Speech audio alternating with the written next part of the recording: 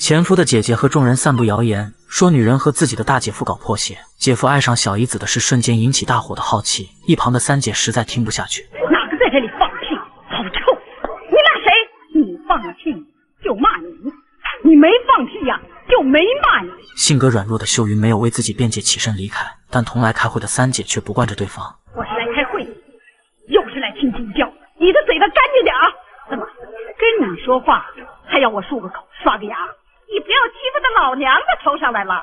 嗯，老娘打扮的好漂亮，是哪个男人给你买的粉？哪个男人给你扯的裤？啊！呸！你家四妹子出人眼看，你知道不知道啊？呸！